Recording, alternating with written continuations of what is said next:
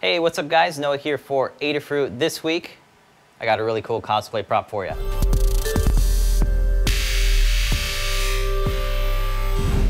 This is Lie Ren Stormflower from the anime web series RWBY, and in the front of the barrel I have a NeoPixel, and behind the trigger I have a push button, so when I squeeze the trigger,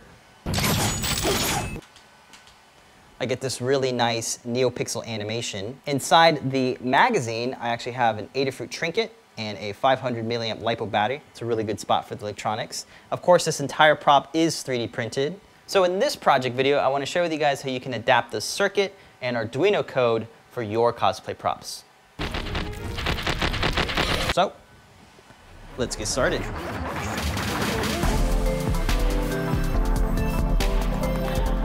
So the electronics I use in this project are great for cosplay weapons, or really anything that needs to flash when you press a button.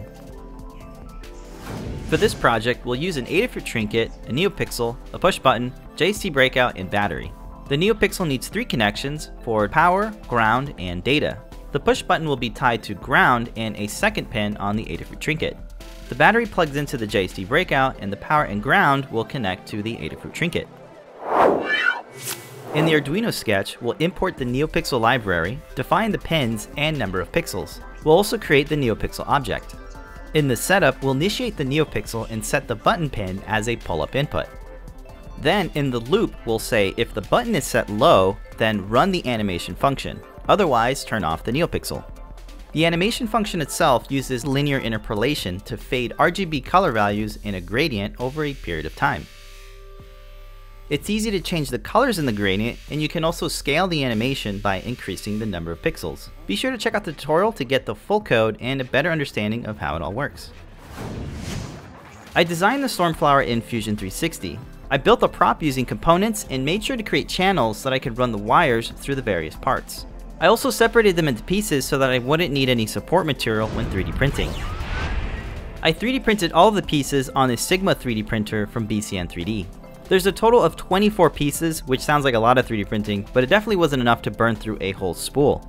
I used a 20% infill for all the parts, and I probably only used about 10% of the spool. I heated the glass bed up to 65C, and I was extruding at around 220C, which is a bit hot, but that helps keep the flow consistent. It's also worth noting that I used 1.75 filament, which works really well in the Sigma 3D printer, even though it's only supposed to run 2.85 filament.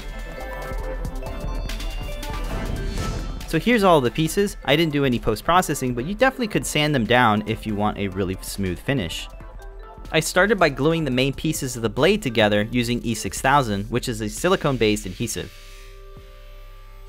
Then I glued the middle piece of the blade onto the main base of the blade.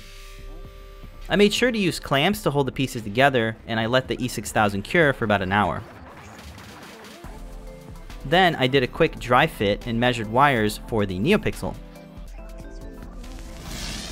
I'll need three wires to connect to the NeoPixel. These will be for power, data, and ground. I connected these wires to the three pads on the bottom of the NeoPixel.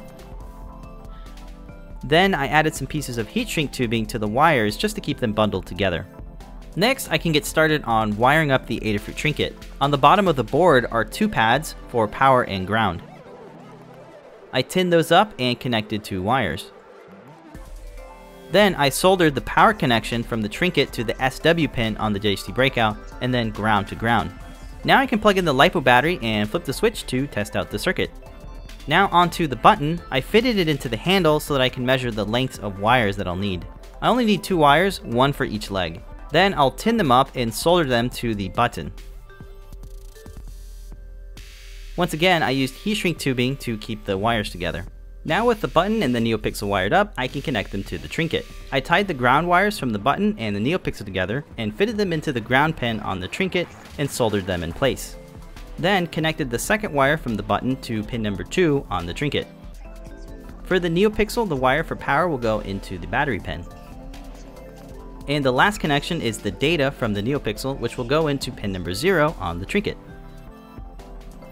With all the connections wired up, I can do a final test of the circuit to make sure everything is working. After that, I can start mounting all the pieces together. I'll start by inserting the NeoPixel through the channel in the back of the barrel and out the other end. Then I'll thread it through the front barrel piece and pull the NeoPixel through. Once it's out the other end, I can connect both of the barrel pieces together. Now I can mount the NeoPixel to the face of the barrel by pressing it in until it clicks into place. Now I can gather the main pieces together like the handle, the trigger guard, and trigger. The keys from the trigger will fit into the slots on the trigger guard and the keys from the guard will go into the handle. The push button then fits into the channel behind the trigger. I fitted the wires into the channel and placed the second half of the handle on top and fastened some machine screws to secure the pieces together. Now I can fit the barrel pieces onto the handles. Each piece has a key in a slot, so I'll just press the pieces together until they click into place. The Adafruit Trinket, JST Breakout, and battery all fit inside of the magazine, so I carefully slid them in and inserted the magazine into the bottom of the handle. Then I just need to make sure that the trigger can actuate the push button. Last thing to do is to fit the blade into the front of the barrel. The key from the blade goes into the trigger guard and the blade itself fits underneath the barrel. And that's it for the build. I think this is a really awesome way to get triggered lighting effects, especially for cosplay props. But this would also work really well for all sorts of costumes. So I hope you check out the tutorial for this project. Remember, it is linked down below. I also hope this inspires you to start thinking about electronics for your cosplay props because it really adds that extra dimension. Thank you guys so much for watching. Don't forget to subscribe for more projects every week. But until then, I'll see you next time.